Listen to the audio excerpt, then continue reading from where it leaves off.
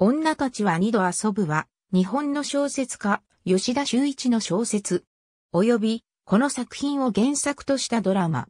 2006年に野生時代で日本の11人の美しい女たちとして発表。2010年にビトブでドラマ化された。雪貞勲監督によって映像化され、男性にとっての忘れられない女がテーマのオムニバスドラマとして2010年3月1日からビトブで配信された。各エピソードは原作通りだが、つまらない女の実オリジナル作品である。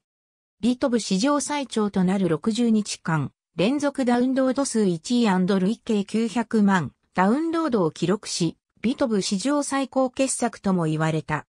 そして2010年6月30日、台湾での第12回台北映画祭のパノラマ部門、ザ・ボイス・オブ・アジアセクションで特別上映され、携帯ドラマ史上初の国際映画祭出品を果たす。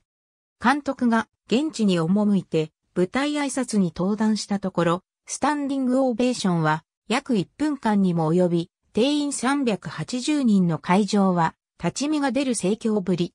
5作の中では、長谷川京子主演のつまらない女が人気だったという。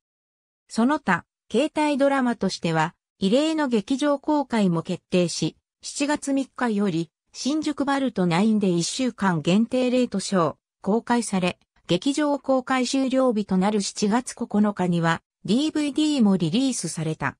土砂降りの女自己破産の女夢の女平日、高級の女つまらない女。ありがとうございます。